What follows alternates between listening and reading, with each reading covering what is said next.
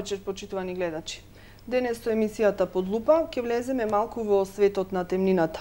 Денес е светскиот ден на белиот стап, на слепите лица и во овие 40 на минути друштво ќе ми прави секретарот на Сдруженијето на слепи лица од Охрид, господинот Славчо Джајковски.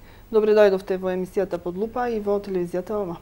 Добро вечер, ви благодарам за поканата и со ова ќе ни помогнете малку јавноста да биде да познае на работата на Дружењето на слепи лица Охрид и на Националниот сојуз на слепи на Македонија. Така. Слепите лица или лицата со оштетен вид ги има и во нашиот град, околу 80 на се на број и секако и тие мора да се вклучат во сите оние текови на обштественото живење, колку е тоа лесно или тешко, токму вечера и овде ќе разговараме. Прво еве да започнеме зошто токму овој ден е назначен како светски ден на слепите лица. Па, значи 15 октомври е ден на белиот стап, значи светски ден на белиот стап како символ на слепите лица. Во секој случај, овај имало потреба да се обележи еден ден и покрај сите оние денови да се даде акцент значи, на овој ден на слепите лица. Е, околу историјата. Околу 1931 година во Париз за прв се поделени 100 слепи бели слепи бели стапови за слепите лица, а Америчкиот конгрес 1964 година донесе одлука да го прогласи 15 октомври како ден на слепите. Во Југославија се празнува 1981 година и после осамостојувањето ние продолжиме да го одбележуваме како ден на белиот стап, символ на слепите лица. Така. Е сега постои здружение на слепи лица на ниво на значи на држава. Колку лица се регистрирани во ова здружение, колку ги има во државата официјално, сигурно има и оние кои што не се регистрирани. Сигурно. Значи нашата поставеност е на тој начин што имаме национален сојуз на слепи лица на Македонија, во кој национален сојуз членуваат 18 општински и меѓуопштински организации. Според нашата евиденција има околу 1400 слепи лица кои се наши членови, што не значи дека ги нема поќе. Некои не ги имаме фатено, некои не сака да се заченат. Во секој случај, значи ова е бројката со која ние располагаме. Иначе, Дружењето на слепи лица Охрид Националниот сојуз е формиран 1946 година, а Дружењето на слепи лица Охрид 1951 година. Во Дружењето на слепи лица во овој момент членуваат некаде околу 80 членови и морам да истакнам дека со законската регулатива слепо лице е лице кое го има изгубено најмалку 90% од својот вид. Значи ние ги зачленуваме лицата од 90 до 100% изгубен вид. Така. Е, сега, овие лица, сигурно предпоставам, има на различна возраст, има и помлади, има и повозрастни. Од која се возраст има во вашето здружение и како се истите третирани? Затоа што едните имаат едни потреби, а другите повозрастните пак други потреби. Децата нормално имаат потреба и од образование, зашто исто така ќе стане збор во емисијава. Значи во секој случај првенствено ни е првенствено ни е откривање и заченување на, шеви, на, на слепите лица со цел да им помогнеме по натамошниот живот. Нашата структура на возрастната структура на нашето здружение, можам да кажеме тоа дека веќе старе, што мислиме дека тоа е да доволни сме тоа. Значи, дај Боже да нема деца. Значи, поголемиот ден на членовите ни се повозрастни лица но сепак имаме и две деца до во основно образование кои се школуваат во инклузивни паралелки во Охрид. Имаме едно девојче кое е во, запишано во средното школа во Димитар Влахов во Скопје, прва година од сек физиотерапија. Значи, школувањето да слепите лица се изведува во специјалниот завод за слепи деца и младинци Димитар Влахов во Скопје, каде што имаме основно образование од прво до осмо деление И имаме средно образование, каде што има три, нас, три насоки, а нормално после тоа средно образование, ако некој нашите членови искаже потреба дека сака има можност и желба да се запише на факултет, продолжуваат на редовни студии во факултетите. Имаме значи, лица кои завршили музичка академија, правен факултет и некои други факултети. Е сега бидејќи рековме дека овие специализирани училишта се во Скопје, а децата нормално се многу мали кога треба да започнат со своето образование, дали имаат и придружник со нив и дали родителите и како се одлучува да ги пуштат да учат значи во тие специјални училишта, затоа што овде многу тешко ќе може да се вклопат во овие регуларни редовни училишта, иако многу често родителите не сакаат да признаат дека има таков проблем и сакаат ако можат да ги вклопат некако некоја инклузија да им направат во тие училишта, но мислам дека тука се мачат и децата, а и родителите и оние кои што сакаат да пренесат дел од знаењето на нив. Точно, значи пред се ние ги сваќаме родителите дека е тешко од 7 години детето да го испратиш во Скопје. Сакам да кажам дека во заводот Димитар Лахов имаме комплетен интернатски смештај. Значи, имаме вработени стручни лица од сите профили. Социјални работници, педагози, психолози, наставници, професори. Значи, децата се сосема добро згрижени. Овај, во секој случај, тешко е за родителите. Пред неколку години се донесе законот за инклузија, може би со цел да им се помогне на родителите, но сепак за може би некои деца со поголем остаток на вид би можеле. Значи ние им помагаме на тие деца, им набуваме лупи, може би и стручните работници во школото, педагог, психолог, дефектолог ќе им помогнат, но сепак сигурно многу потешко ќе остварат ќе го остварат образованието. А да не зборуваме за деца кои имаат од 97-8% до 100% изгубен вид, тие малте не буквално прво треба да го научат браевото и релиефно писмо, а таа во инклузивно образование кај нас тоа не може да напред. Значи исклучиво во Заводот за слепи деца Димитар Лахо. И јас се затоа пак ќе апелирам, пошто имаме едно девече кој веќе требаше да почне со прво деление, ова година не успеавме да се договориме со родителите. Даваат отпор родителите? Точно, се надеваме дека наредната недела, наредната година ќе го запишиме со тоа што ќе има возможиме на родителите максимум и до месец дена да престојуваат во интернатот, како би можело детето постепено да се навикне. Во секој случај, децата се во добри раце и сигурни раце. Значи, јас имам членови во Охрид и цела Македонија кои се завршиле. Имаме во моментов дечиња кои што учат во училиштето во Скопје? Да. Кој што е наменето Од Охрид, да. Во моментов во училиштето во Скопје има 60 деца, а од Охрид имаме едно девојче во значи средна медицинска насока, од сек физиотерапеут. Така да мислам дека тоа е еден, една солидна стручна подготовка, еден добар занае со кој би можела да продолжи во животот А колкав процент од овие деца после завршувањето на средното образование се одлучуваат на високо образование, значи да продолжат со своето учење? Па во секој случај можам да кажам дека е до две до три генерации едно дете би отишло на факултет, ако зборуваме дека во тие генерации нема паралелки од 30 и од 20 деца, значи паралелки може да бидат 5 до 7 деца. Е сега за сето тоа да се реализира потребни се средства. Каде се наоѓа? Дали државата издвојува доволно средства за да се покријат сите овие потреби на лицата кои што се со оштетен вид или слепи лица? Значи, ќе зборуваме постепено. Ако во однос на образованието, родителите не плаќаат ништо. Значи, интернатскиот престошколувањето, учебниците, сите надледни материјали се обезбени од страна на државата. Финансирањето во однос на активностите. Значи, веќе ќе почнеме еден дел на активностите. Ние како Сдружение на слепи и Националниот сојуз изготвуваме годишни програми. Кои што годишни програми ги офаќаме сите наши активности. Што е нашата цел? Значи да ги активираме слепите лица во сите области. Значи да им ја подигнеме духовната и спортскиот начин на живот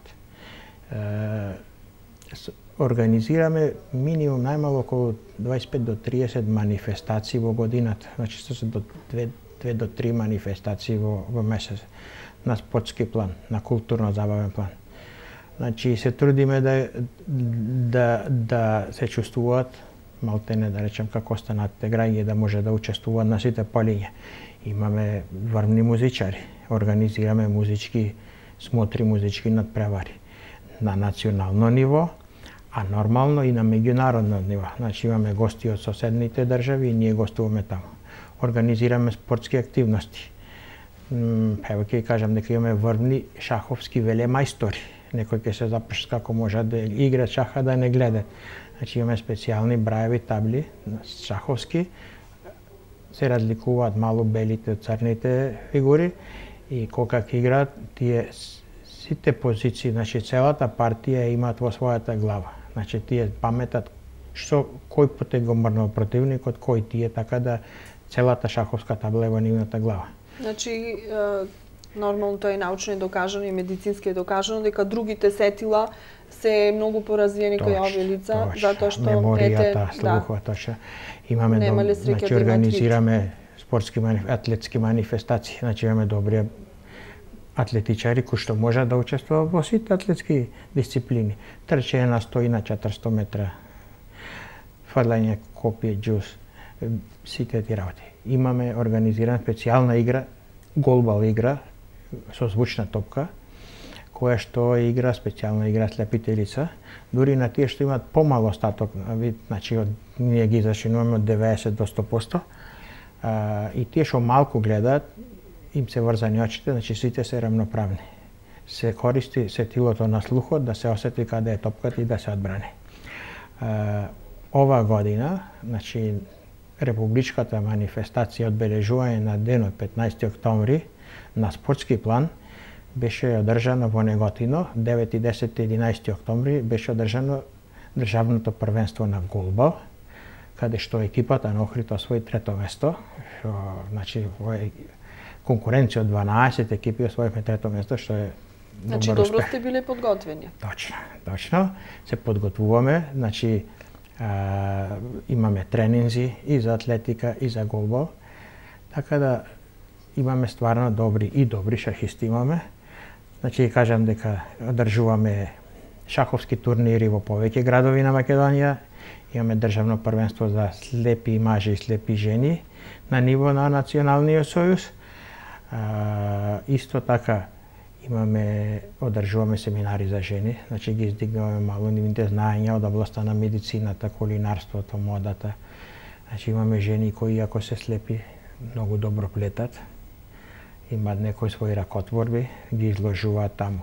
Така да сакаме да исклучиме во секојдневниот живот. Да ги анимираме, значи да не останат дома. Какви луѓе се слепите лица? Значи, дали се повлекуваат и живеат во еден свој свет или сте се комуникативни и контактибилни со останатите? И како комуницирате, еве? Бидејќи вие сте долги години во воздружение и директно секојдневно контактирате со овие лица, можете малку да ни доловите како изгледа еден нивни ден и како изгледа всушност нивниот живот? Во секој случај се многу комуникативни луѓе значи со добар дух, расположени за разговор, дури расположени за шега и шала и на свој начин, и на, на самите себе си, се борат со животот, остваруваат, се мажа, се женат, имаат своји фамилии, одледуваат деца, Значи, во секој случај се трудолюбливи, вредни луѓе, комуникативни и со добар дух. Има ли а, семејства каде што повеќе членови од семејството се слепи. Секако. Во Охрид имам неколку семејства каде што е слепилото наследна болест, така да се пренесува од генерации на генерации. Тука е нормално малку потешко. Во секој случај треба поќе да се работи со тие членови, али сепак овај успеваме да се справиме со таа работа. Овај сакам да нагласам дека може би. Некои членови кои ослепеле во повозрастни години, 50-60 години, тие тешко се привикнуваат на слепилото, може да помалку комуницира, но сепак се трудиме да ги да, се, да, да ги да го прифатат нашиот наш, значи животот во здружението, да ги активираме во некои манифестации, активности, значи за тие повозрастни кои не може да учествуваат на спорт, некои спортски активности, организираме еднодневни излети најмалку два пати во годината. Ги, ги посетуваме културно-историски споменици, манастири, така да со цел значи да излезат надвор од твоите домови. Што е совработувањето? Колку лесно или тешко може да се реализираат и да си најдат некој соодветно работно место? Бидејќи нормално потребни им се материјални средства за да го живеат животот. Тие добиваат парична надом, надохнада од државата, но сепак не е лошо да се надополни буџетот и со некои дополнителни средства. Имаме ли некои слепи лица во општинава кои што се вработени? Да. Значи, со школувањето, рехабилитацијата, способување за работа, се трудиме да ги запослиме во ова транзиција од 90 на година навам поминавме многу работи, се формира заштитни работилници кои што има некој бенефиции од државата за да ги вработат овие инвалиди. Значи се случуваше некои од тие заштитни работилници, зборувам на национално ниво, да ги искористат бенефициите, а да, да, да ги изиграт едноставно слепите лица. Во хрифала фала му на Бога, значи имаме некои заштитни работилници кои многу солидно работат и каде што се вработени. Моментално имаме три лица кои работат, се солидни работници, имаат добри примања, така да нашата цел е сите кои ќе се способат и за работа да ги вработаме, да едноставно да се чувствува дека може да придонесе со својата работа и за обштествената заедница и за своето семејство. Се плашат ли кога ќе започнуваат еве да работат? Во секој или... случај мало е специфично, значи стравот е обострани од страна на работодавците и од страна на нашите лица кои ќе се вработат, но сепак се трудиме со помош на Националниот сојуз, Министерството труд и социјална политика да се адаптираат работните места или да им се најдат адекватни места за работа, затоа што ние сакаме вистински да работат. Значи не е само целта да се запослат, па цел ден да седе на некој столче таму, само колку е. Значи вистина сакаме. Се чувствуваат така уште поотфрлени. Точно така. Точно така. Значи така ќе се почувствуваат уште поотфрлени. Во секој случај, значи можам да кажам дека во последниве неколку години овај слепите лица со изгубен вид од 97 до 100% добија уште една бенефиција. Значи покрај тоа што добија еден да надоместок за нега и помош од друго лице, добија и надоместок за слепило, кој е на сума од 7000 денари месечно кој добиваат, така да во некој случај го подобруваме нивното материјално живење се трудиме да имат одредени бенефици во областа на телефонијата, комуникацијата, сообраќајните врски и така натаму, така да успеваме значи да надоместиме тоа што тие не можат да ги остварат приходите како сите нормални здрави луѓе, да му надоместиме нешто во животот да се да го да им го растеретиме домашниот буџет да можат малку подобро да живеат. Да, и поквалитетно, значи Точно. да ги потребат средствата и за некои други задоволства. Рековте дека вие преку здруженијето организирате раз, разни средби, прошетки и така натаму, но добро е кога ќе знаат дека може да бидат и самостални, па нешто и самите да си испланираат и да го водат животот во на насока во која што самите сакат. Малку ќе ве одморам, првиот дел брзо ни стече, е време за кратка рекламна пауза, па потоа продолжуваме на истата тема. Right.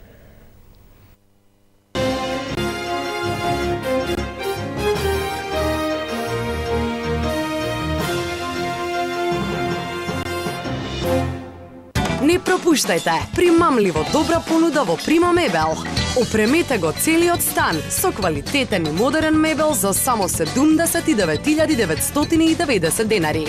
Од 15 до 17 октомври Прима ви подарува 25% попуст на целиот асортиман во сите салони на Прима Мебел. Хотел Тино, сместен во идиличниот пейсаж на населбата Свети Стефан. Хармоничен спој на смирувачкиот амбиент на Борова шума и прекрасното синило на Охридското езеро. Опремен по највисоки стандарди, хотелот располага со спа центар, внатрешен и надворешен базен, базен за деца, детско игралиште, фитнес центар, сала за состаноци. Совршен избор за вашиот одмор и уживање за сите сетила.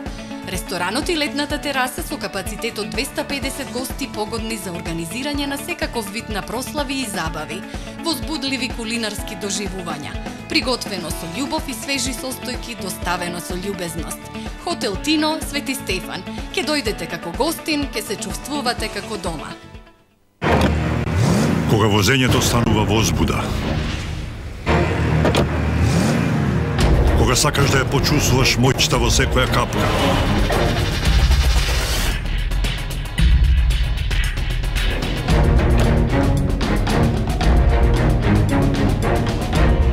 Ultra Diesel Power Jet на Мак Петрол. Разликата е во квалитетот. Сега со нови поволности за корисниците на картичките Верна. Само на бензинските на Мак Петрол. predsjedniče, ovako više ne može. Leti vruće, zimi i hladno. Hoćemo izolacione sankcije. Stižemo. Pa hoće ovo u bubanju. Doktore! Samo bekament. Bekament termoizolacioni sistemi. Leti hlade, zimi greju, štede energiju. 10 godina garancije. Bekament, doktori za zidove. Со Макс Травел на тродневна посета на Истанбул. 046 26 20 26. Престанете да сонувате, почнете да живеете.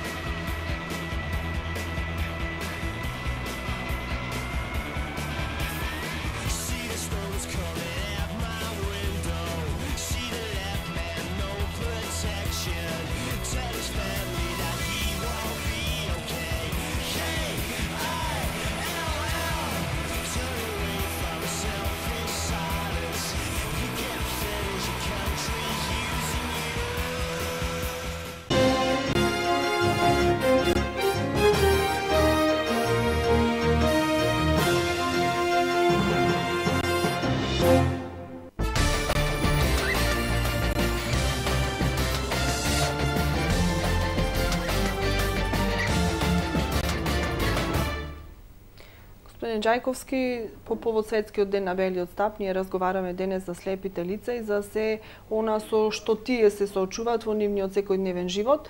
Покрај обштествените бариери со кои секојдневно се среќаваат, за нив постојат и голем број физички бариери поради нивниот хендикеп. Колку е лесно или тешко слепите лица да се движат, еве, конкретно низ нашиот град? Дали се создадени услови за нивно непречено движење и стигнување до оние институции до кои што секојдневно треба да стигнат, имаат разни потреби од банка, од локална, од пошта и така натаму. Потреби кои што ги имаме сите ние.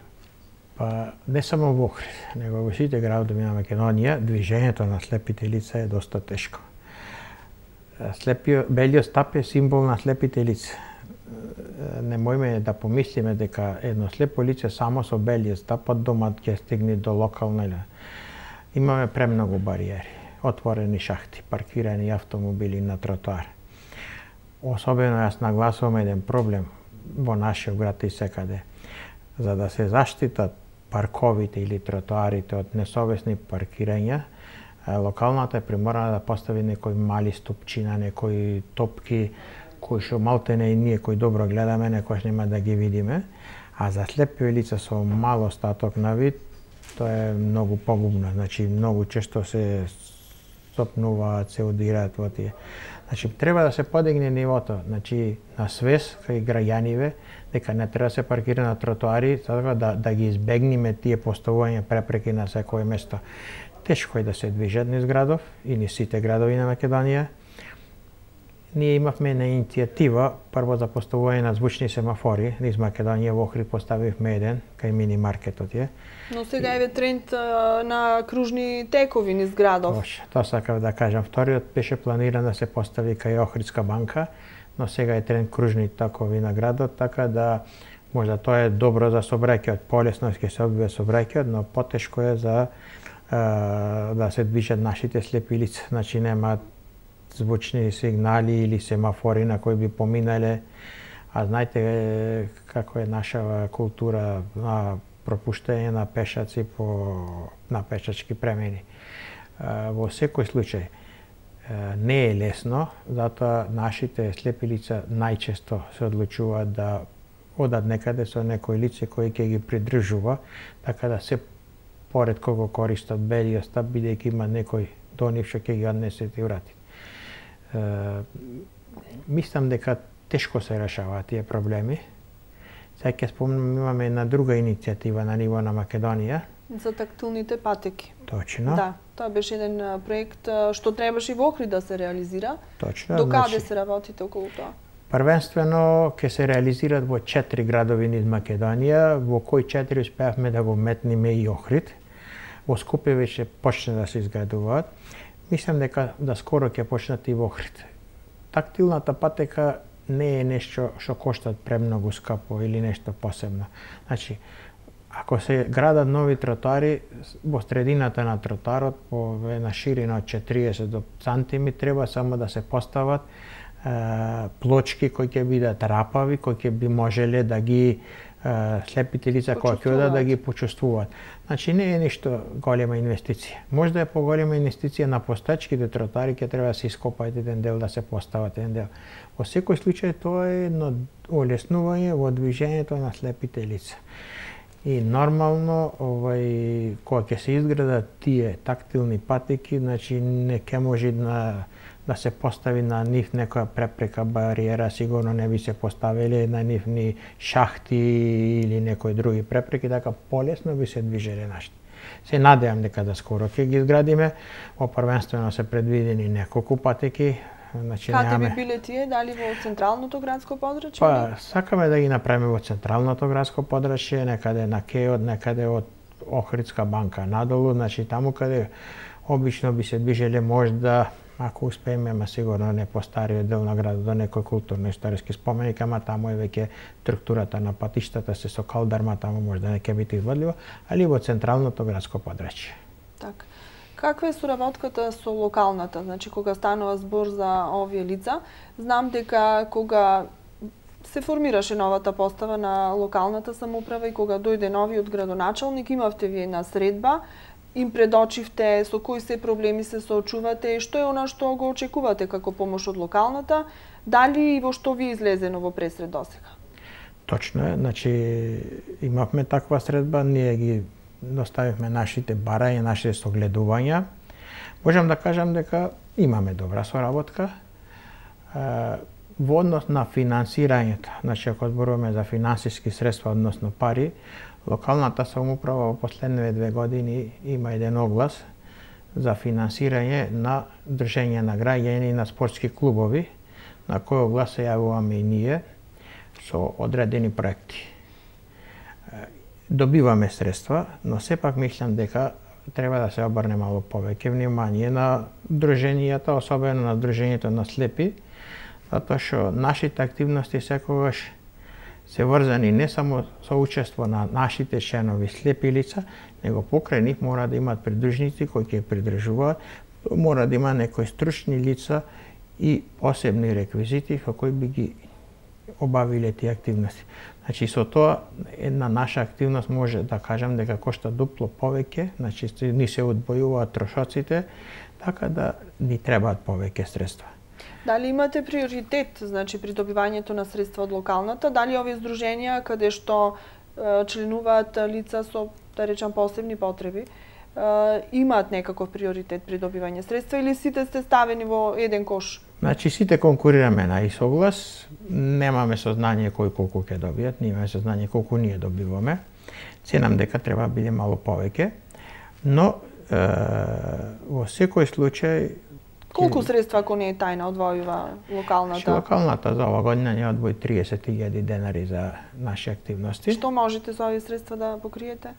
Па ви кажам дека излето што го организираме во месец септември, со негде околу 45 наши членови не коштат околу 30.000 денари, значи ние оваме една активност со тие средства, а имаме најмалу 15 до 20 активности.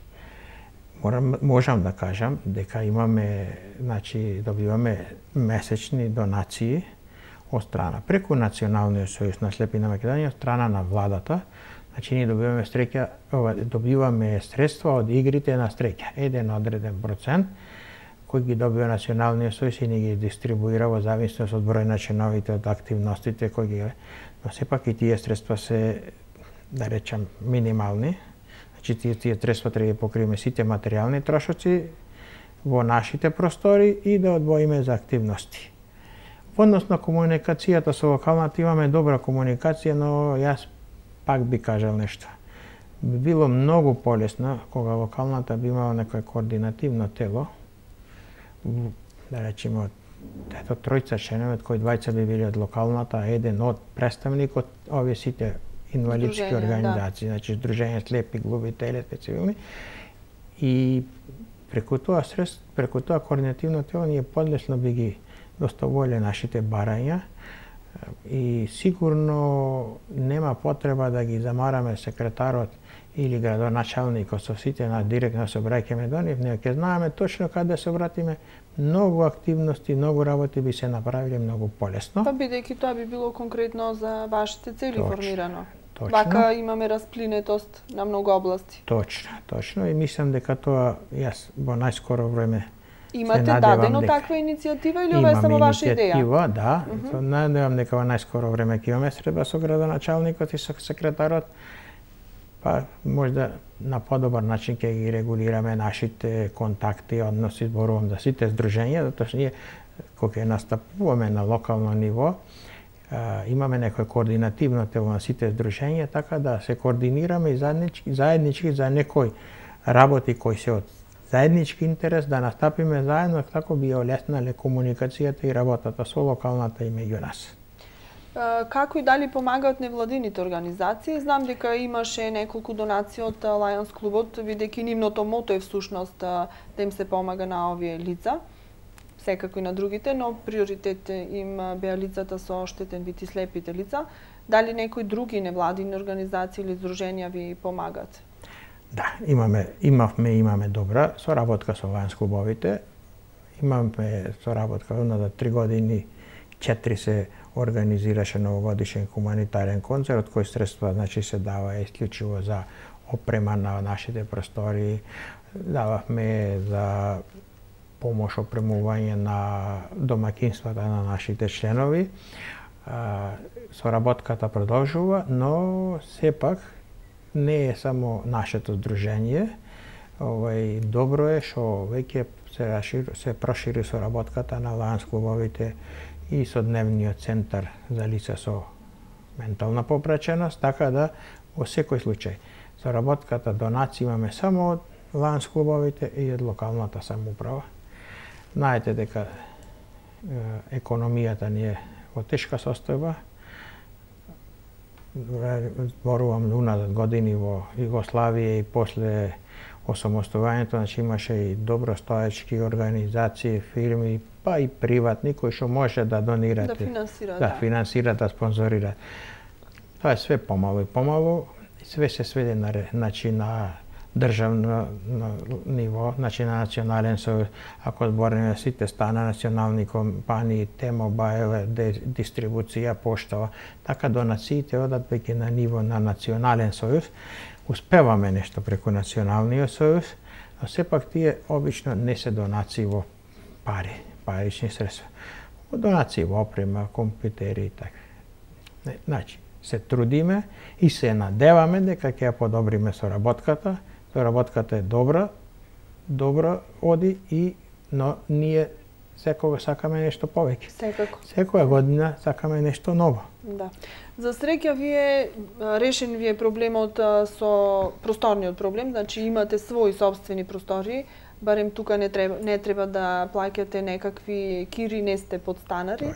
А, имате простор каде да функционирате, што е она што ви е приоритет, што ви е најпотребно еве во овој момент, што би требало да се купи, донира за слепите лица?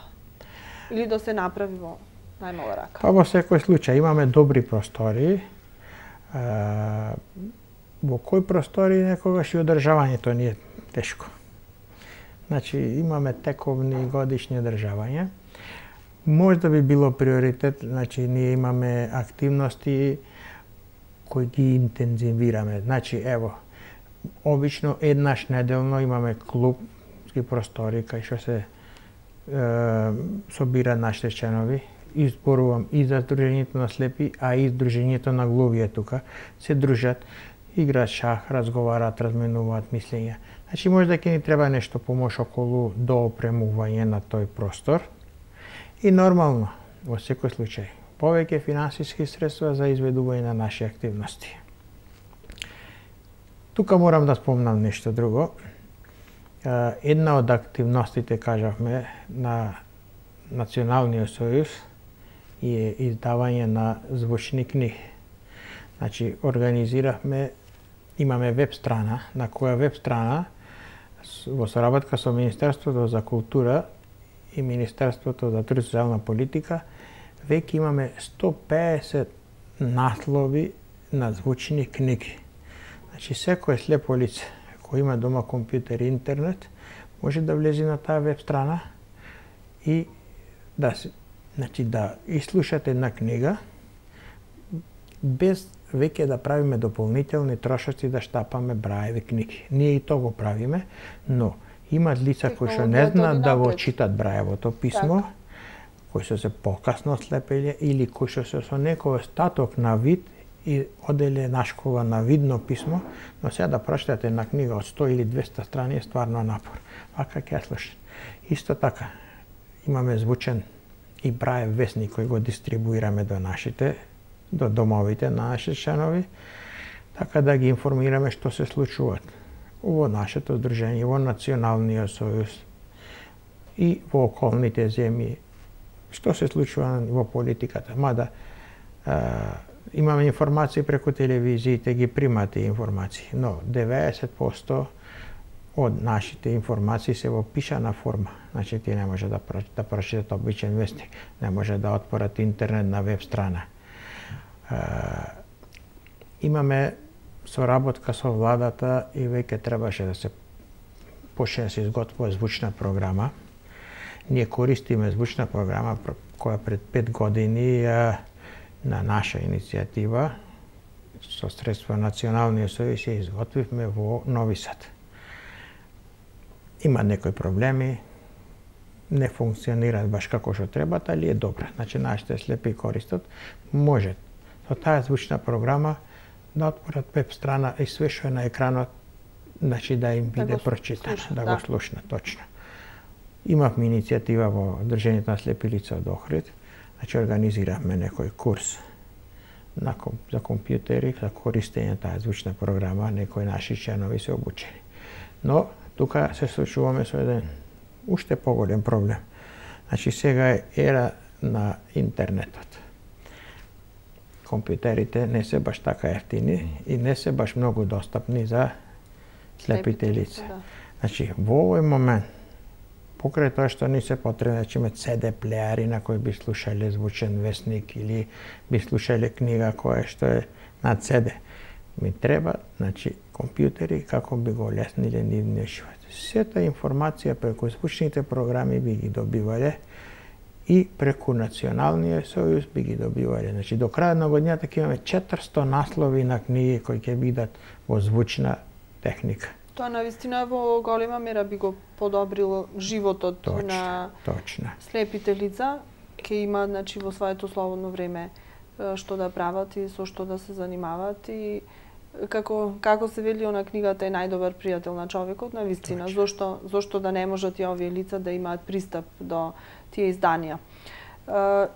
Интересно е што се придвижуваат работите, може би кај нас поспоро, но сепак. Ете, фаќаме некако чекор со другите земји.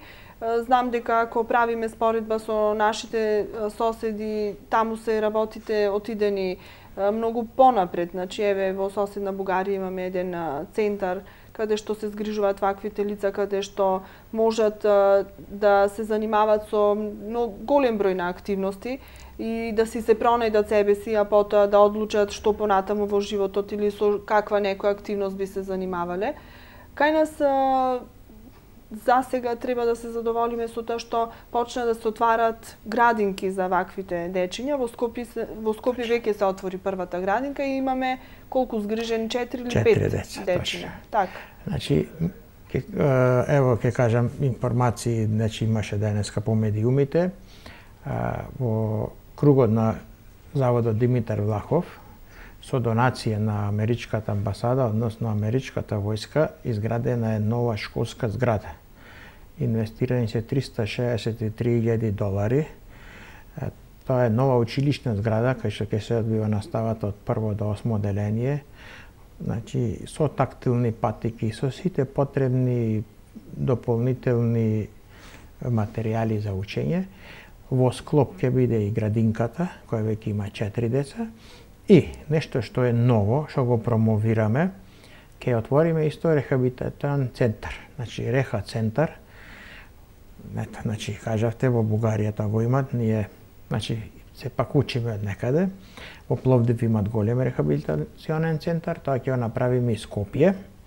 Чекаме министерството да одреди, значи да можеме да ни дозволи да добиеме финансиски средства за да вработиме стручни лица, психолози, педагози, дефектолози. Која е целта на тој рехабилитационен центар? Значи сите луѓе кои во повозрастни години ослепеле или сите наши членови кои завршиле училиште пред 20 години или пред 15, значи ќе имаат можност да престојуваат еден месец во тој рехабилитационен центар ќе бидат сместени, ќе му обезбедено сместување и храна и во тој еден месец ќе изразат желба во рамките на тоа што постои во тој рехабилитационен центар. Дали ќе биде изучување на браевото писмо, дали ориентација во простор.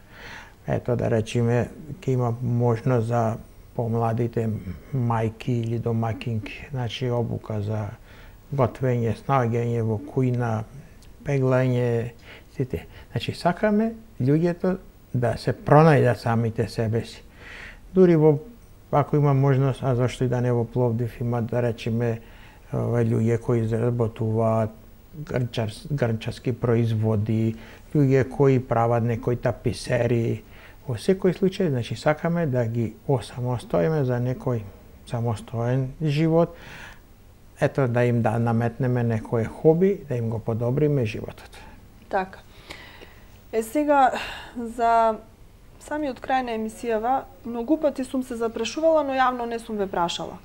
Рековте 20 и колку години сте во Сдруженијето? 29, од 86 значи, година. Речи си три децени. Како, каква е приказната, како влеговте вие во ова Сдружение? Па, да речам, во ова Сдружение сум јас од значи, млади години. Мојот татко, значи Петар Джајковски работеше како секретар на Друженијето на слепи. Јас од мали нозе некако учествував во сите нивни манифестации. Значи им помага во организирање на манифестации. Понекојаш ќе му помогнев на некој членовите ако треба да биде однесен до некоја институција или да им се изврши некоја работа, така да малте не бев присутен во сите целокупни нивни активности. Во оној момент кога требаше татко ми дојде во пензија, требаше да се запосли нов секретар, бе повикан од страна на скоро сите членови, малте не, значи, дословно кажа дека би требало да работи некој човек кој вистина ги познава нивните потреби. Нормално имаше оглас, процедурите законски беа запазени, во секој случај јас, ево да речем на некој начин, ја исполнав нивната желба и 29 години работа. Што значи да се биде секретар во едно вакво здружение? Сигурна сум дека вие немате некој стриктно работно време и дека треба треба, не треба, но така по сплет на околности 24 часа сте достапни за овие лица. Бидејќи веќе некако како да сте ваше семејство. Во секој случај да, значи одговорна работа. Малтене сите нивни потреби во текот на секој работен ден јас ги извршувам. Ова сите нивни молби, жалби, барање, фамилиарни семејни проблеми. А, значи сме вклопени во некој фамилиарни однос. Значи сите заедно како една фамилија, секој со секого си помага. А, одговорна и тешка работа. Вистина е дека значи треба да им си достапен во секое време нивните потреби некојаш не завршуваат со завршеток на работното време. Ето, обично и активностите ги изведувам и во викенди, така да мислам дека е стварно тешка и одговорна работа, но ако човек ќе работи со задоволство не е ништо толку напорно. Ценам дека најдобро мерило колку човек ќе извршуваат работата е реакцијата и задоволството на тие луѓе за кои што работиш. Ценам дека се задоволни и се надевам дека и така и понатаму ќе продолжиме во секој случај. И нормално апелирам со поддршка и на локалната да самоуправа и на сите невладини организации кои можат да помогнат да продолжиме со овие активности, да продолжиме со работата на Дружението и нормално со да, унапредувањето на сите активности и подобрување на нивниот секојдневен живот. Така.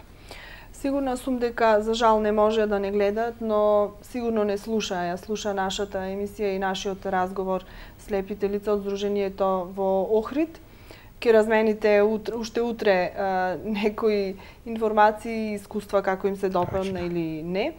А сигурна сум дека не гледа и многу други граѓани кои што дел од нив можат и да помогнат. И еве еден отворен апел и од нас колку што може да помогнат на оние лица на кои што на вистина тоа им е необходно да им го подобриме квалитетот на животот и на вистина да извршиме една инклузија во обштествените текови бидејќи тие се дел од нас. Точно така, ви благодарам за поканата и се надевам дека ова соработка меѓу Дружењето на слепи и вашата телевизиска куќа ќе продолжи. Вие сте наш промотер, присуствувате на многу наши активности, а со тоа сигурно ни помагате во нашата работа. Така. Соработката е взаемна. Благодарам за учеството во Лупа. Ви благодарам и вас.